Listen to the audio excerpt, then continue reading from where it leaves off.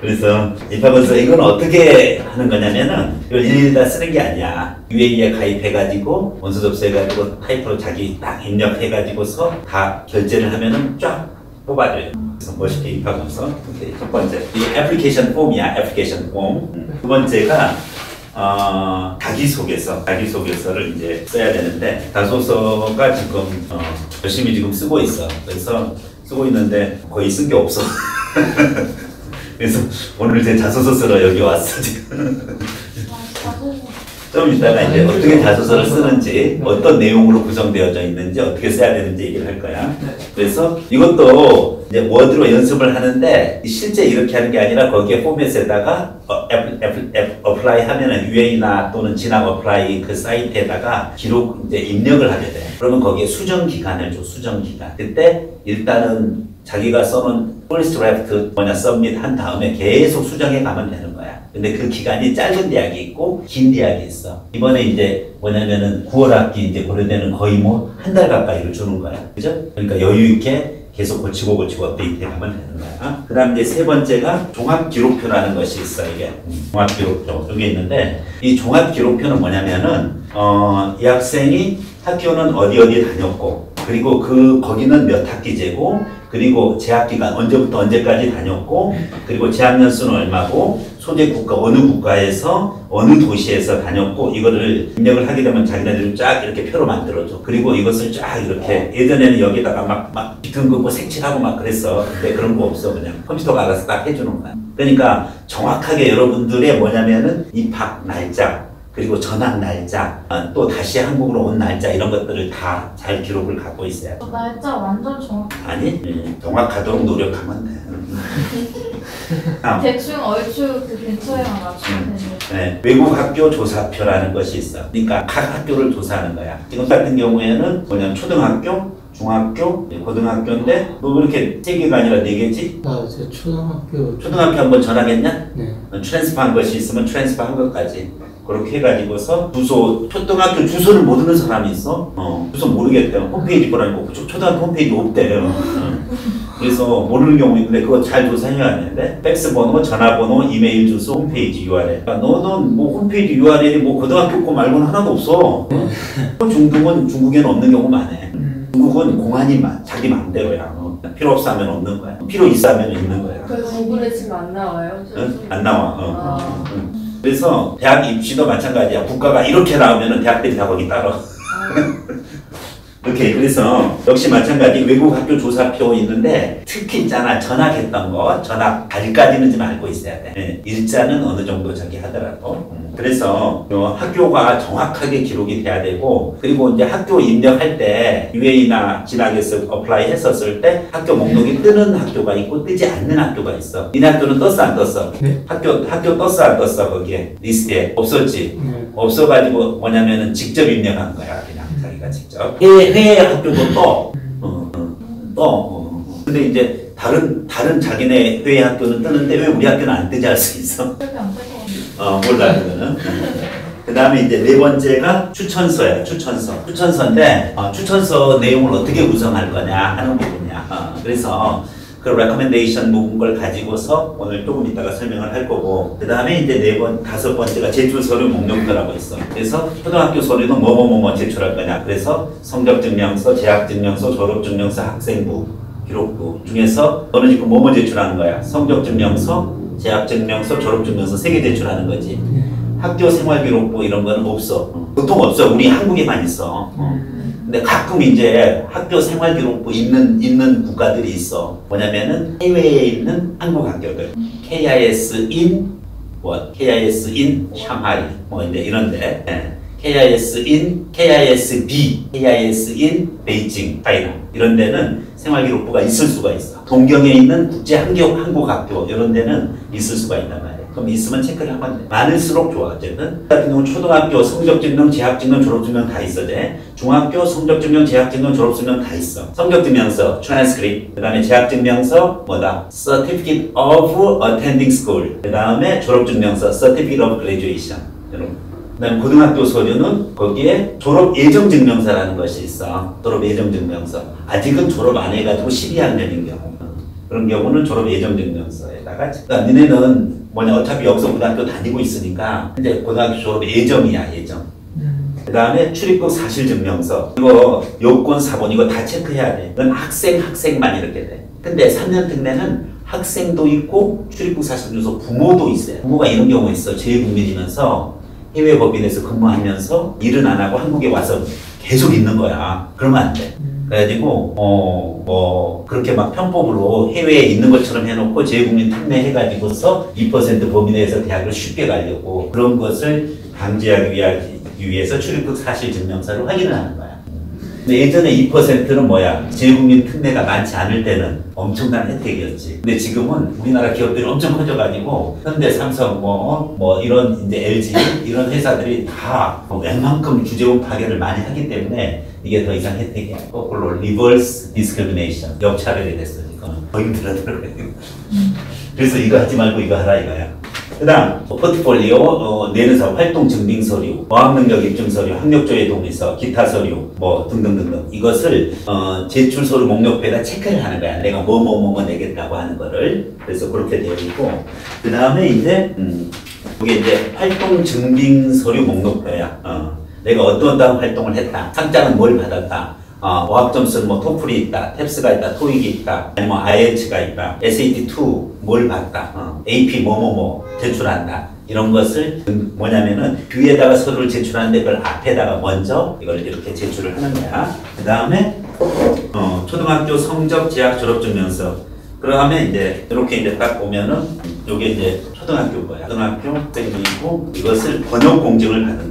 번역해 가지고 공증 받고 지인 찍어주고. 근데 이거는 학원에서 복사를 한 거야. 원본은 내가 따로 갖고 있지. 그래서 사본을 제가 어저께 이거 복사하느라고 고생 좀 많이 했어. 왜냐면은 이게 많거든 분량이. 하나하나 다 따로 해야 되고 처음에 할때 고대 것만 하는 게 아니라 다른 거 연대 것도 해야 되니까. 미리 두 부씩 복사해가지고 뽑아놓는 거고. 이거를 사본을 이렇게 성적증명서 낼 때 사본을 가지고 가는데 이걸 믿지 못하니까 원본을 가지고 있는 걸 가지고 가는 거야. 원본 가지고서 가가지고서 거기에서 원본이랑 대조한다고 이거를 어 이거 했어. 어네 학원에서 했는데 어 그래 원본 보자. 어 같네. 알았어. 그래가지고 여기에다가 빵 찍어 원본 대조를 끝냈다.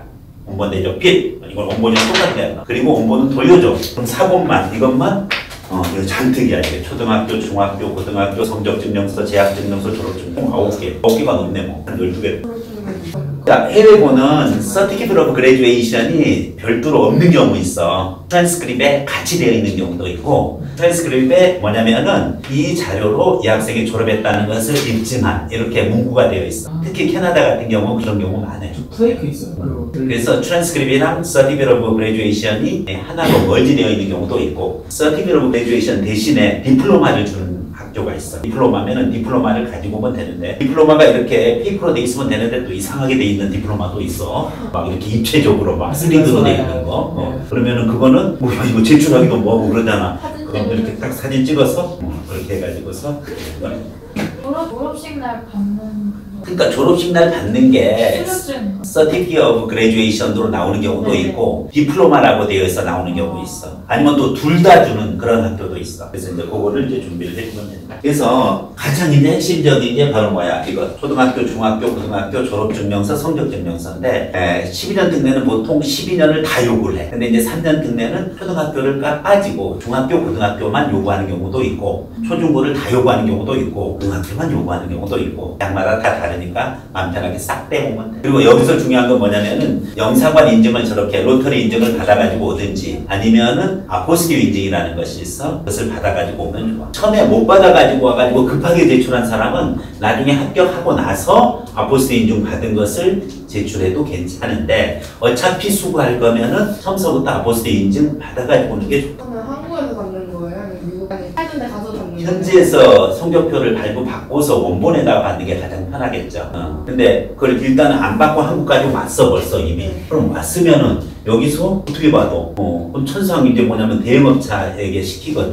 그러면은 영어권이니까 영어권은 번역은 안 해도 되고 그냥 그 자체만 아포스트 인증 받아야만 되는데 이와 같은 인, 아포스트 인증 받아주는 업체들이 좀 약간 바가지가 있어. 유의해야 돼. 그래서 어, 그래서 몇 명 모아가지고 하면 좀 싸게 해주는 데도 있고 이제 그러는데 오히려 현재 guardian이나 홈스테이쌤 있으면 부탁해가지고 거기서 다시 한번 issue를 발급을 받아서 아포스트 인증해서 보내달라고 하는 것이 좋아요. 그 영사관에서 받는 거는 영사관에서 받는 건 똑같아. 아포스트 인증을 받아도 되고 영사관 인증을 받아도 되고 영사관이 텍사스는 가까이 있어. 니네 니네 어스틴에 있는 거 네, 달라스에 있어요. 달라스에 있어? 그러면 괜찮지 오히려. 저 그거 응. 그래서 받아 있는데 그거 응. 주신 거 어. 그거 그래서 이제 그 부분 거를 가지고서 이제 내가 그 사본을 갖고 있으니까 같이 검토를 해보고 인도네시아처럼 아예 지금 영사관이 멀리 있는 경우 있어. 근데 인도네시아도 아포스트 인증 국가야. 만약에 학교에다가 얘기 협약 안돼 있어. 어, 그렇지 안 돼 있었지. 아포스트 인증국 가면 학교에 얘기해가지고서 학교에서 아포스트 인증을 해주는 그와 같은 서류를 발행해 줄 수 있으면 좋고 그러면은 뭐 영사관 안 가도 돼. 근데 만약에 그게 아니고 우리는 그렇게 못 해준다라고 하면은 청산 영사관 인증을 받아야 되거든. 그러면은 약간 멀리 가야 되잖아, 니네. 비행기 타고 가세요. 그리고 섬으로 돼 있어가지고 너무 불편해, 인도네시아. 아 저도 그래요? 가족이 있으면 가족이 해줘도 돼요. 그럴까요? 마찬가지야 너도 지금 뭐냐면은 너 지금 그쪽에서 네. 그 성적표는 일단 원본 하나 가져왔을 거 아니야 지금 다음은 음. 다음은 오케이. 그 다음에 이제 출입국 사실에 대한 증명서 아까 요거 얘기했고 이거는 여기 한국에서도 뗄 수가 있어요 편해 어차피 근데 10년 특례는 본인 것만 떼면 되는데 3년 특례는 부모 거그 보호자인 재국민과 그거 그 누구 그 배우자 그러니까 아빠가 예를 들어서 재국민으로 나갔다 그러면은 아빠는 최소한 학생이랑 같이 3년 정도 같이 있어야 되고 엄마는 1년 반 정도 있어야 돼 현지에서 그걸 출입국 사실 증명으로 확인하는 거야 반대로 소연이처럼 엄마 기준으로 나갔으면 엄마가 뭐야 보호자가 되고 아빠가 배우자가 되는 거야 어, 엄마가 3년 있어야 되고 아빠는 1년 반 이상 있어야 돼 저거 본인이 떼야 돼요? 응? 그거 본인이 떼야 돼요? 아무나 가서 뗄 수 있어요? 응. 저- 뗄수 저희가 있어. 우리 엄마 거 뗄 수 있어요. 뗄수 있어 아. 그래서 대신에 이제 그 위임장이나 뭐 신분증 가지고 가요 이렇게 다음 그 다음에 요건 뭐지? 요건 4번 알겠지? 요건 4번 어. 여권이 유효기간이 지나면은 좀안 좋겠지? 유효기간 내에 그 다음에 예, 활동 증빙 서류인데 활동 증빙 서류 경우에는 어, 한국어 능력, 성적 증명서 역시 사본을 하고 원본 따로 갖고 있을 거야. 원본 가지고서 갈 거야. 저건 시험을 본 거예요. 그 시험 봤잖아. 그럼. 어, 한국어 시험. 3년 특례는 건데 토픽이 별로 안 중요해. 12년 특례가 중- 왜냐면은 한국어가 3년 특례는 많이 안 딸리거든. 어, 물론 딸리는 학생들이 있어. 자기가 공간 12년 특례는 어, 한국어가 많이 딸리거든. 그렇기 때문에 한국어 인증 시험. 경우 한국어가 잘안 돼가지고 처음에 많이 힘들었어. 근데 이제 지금은 중국어는 뭐 워낙 잘하고 그 다음에 HSK 뭐냐 6급에서도 한참 위, 위점 쓰고 그 다음에 영어는 기본적으로 하는데 한국어가 좀 힘들었거든. 근데 그래서 한국어 인증 시험 토픽이라는 걸 거야. 역시 이제 4번으로 준비했고 그 다음에 HSK 6급 이 점수가 276점. 6급 중에서도 굉장히 높은 점수야. 그래서 좀 이따가 지원 동기 중국어를 한번 얘기해 보라고 하면은 쫙 얘기할 거야. 근데 서울대가 어려워요? 이렇게 좋은데 스펙이? 이렇게 스펙이 좋은데 아 힘들어. 어. 왜냐면은 지금 쟤는 교내 자료밖에 없고 기본적인 서류밖에 없어. 음. 그러니까 객관적인 서류가 필요해. SAT 점수, AP 이런 게 있어야 되는데 좀 아쉽지. 그러니까 너 너무 준비를 안 하고 그냥 그냥 거기 있다고 그대로 온 거야. 어. 한국 대학을 준비하려면은 좀 미리 좀 만약에 저 학생이 첨석던 미국 대학을 준비하고 있었으면은 한국의 서울대까지 지원해 볼 수 있었어. 근데 너 원래는 중국 대학 생각했었냐? 네 북경대나 칭화대나 북경대 칭화대도 되게 좋은 대학이야. 어, 거기 빅6가 있거든. 그 다음에 이제 토익 성적표 그렇게 해가지고서 어, 준비를 좀 했던 부분이고 어, 그 다음에 이제 학력조의 동의서. 이게 맨 위에 있어서 아까 까지 이게 맨 밑으로 가야 돼. 학력조의 동의서. 사인 딱 했어 해가지고서 고려대학교 컴퓨터 컴퓨터학과 지원하는 학- 학생이고 내 학력을 뭐냐면은 중국 가서 마음껏 뒤져봐도 괜찮다 이거야. 어, 사실이니까. 어. 원래 이거 아무나 뒤져볼 수 없잖아. 어, 그런 거 그리고 어 그럼 이제 다 서류를 이제 갖춘 거고 가장 이제 핵심적인 서류가 뭐냐면은 성적 증명서 그렇지 네. 그리고 졸업 증명서 좋든 안 좋든 네? 좋든 안 좋든 뭐 좋든 안 좋든 있어야 되는 있어야 거니까 되죠. 아, 그래서 그 부분 거 서류는 특히 아포스 인증이나 영사관 인증을 받아야 된다. 성적 증명서랑 졸업 증명서는 굉장히 이제 중요한 서류라는 거 인식을 해주고 그 다음에 이제 여기에 저기 하나가 빠졌다. school profile이 빠졌다. 그치? 응? 음. school profile은 고려, 고려대는 필수 서류가 아닌 거야. 음. 알겠어? 어. 그래서 school profile을 제출하라라고 하면은 제출을 해주는 그 학교에서 공식적으로 issue해주는 school profile이 있고 아니면은 이제 그 별도로 school profile이 없는 학교들도 있어. 그러면은 이제 여러분이 잘 만들어 가지고서 고등학교 한 개만 있으면. school profile은 여러 개 있으면은 뭐 다 좋겠지만은 어 어쨌든 고등학교 활동도 예를 들어서 내가 고등학교 때 활동만 내면 되느냐 상장만 중학교 초등학교 것도 내야 되느냐 이런 부분인데 가능하면 고등학교 거 위주로 하고 고등학교 때 별로 상 받은 것도 없고 뭐 활동한 것도 없다 나는. 중학교 때는 좀 동네 교회 가서 봉사활동 했다. 그러면 어쩔 수 없지. 뭐 중학교 거라도 내야 되는 거야. 아 저도요. 저도 상장에 받은 건다 내는데 너는 여기 너 너는 몇 학년 때 나갔어? 그럼 중학교 것도 그렇지. 3년 동네도 마찬가지. 중학교 거 요구하는 데가 있으니까. 초등학교 뭐냐면은 고등학교 거가 너무 많아가지고 그것도 제출하기 너무 부담스럽다. 막 이렇게 쌓여 있다라고 하면 모르는데 그게 아니고서 좀 고등학교 게 부족하다 싶으면은 중학교 것도 같이 내도 괜찮다. 봉사활동 저한 곳에서 또 뭐냐 여기서 교내 봉사활동 했을 거 아니야. 지금 하게 돼야 학교에서 교내 교내 봉사활동. 아, 근데 미국에서 왜 안 했어 봉사활동은? 저희 학교가 요구하지 않아가지고 하는 것도 안. 음. 저는 32시간 있습니다. 꼭 학교에서 한국에서는 교내 봉사 활동으로 충분해. 근데 해외에서는 교내에서 그런 거 안 한다고. 자기가 예를 들어서 동네 커뮤니티 가가지고서 뭐 봉사 활동을 했거나 아니면은 뭐 교회 교회 목사님이 뭐 청소하라고 해가지고 거기 청소했거나 어, 그러면 되는 거야. 그 일회성으로 하는 뭐 일회성이든 뭐냐면은 기본적으로 한 학기에 1년에 60시간 정도 채우면 좋은데 60시간 안 되더라도 크게 관계는 없어. 봉사 때한 번 있는데 중학교 때 거라도 넣어야지 뭐.